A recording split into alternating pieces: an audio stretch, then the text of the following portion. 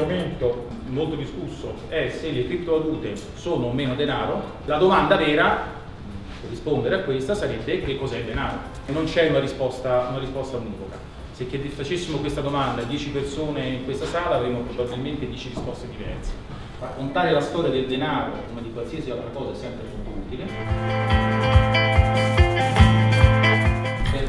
più il contatto del valore della moneta con un asset materiale che abbia un valore intrinseco, diventa titolo di credito e diventa poi informazione digitale. E cos'è la criptovaluta?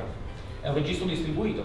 Fermandoci qui non c'è differenza ontologica tra denaro e criptovalute e non è un caso.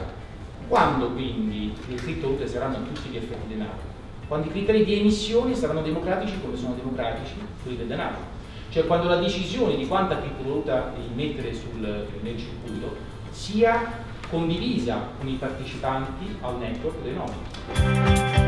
Fondamentalmente vediamo le cose da punti di vista abbastanza diversi, quindi mi sembra molto interessante questo, questo incontro. Comincerò a parlare soltanto dei bitcoin per rispondere anche alla domanda se i bitcoin sono stati una bolla.